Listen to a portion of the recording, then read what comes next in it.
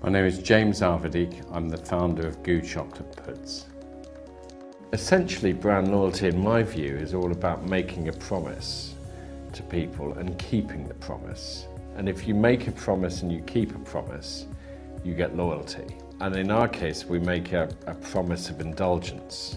You know, fantastic. It's like, oh yeah, it's, it's kind of, a Gü would really hit the spot. So it's kind of getting that, that saliva working. Um, and then, you know, we keep the promise when people actually have the, have the product. The, the core of our business is delivering a fantastic chocolate experience. And then the digital side plays a part in helping us connect with our customer and make sure that we keep on doing the right things.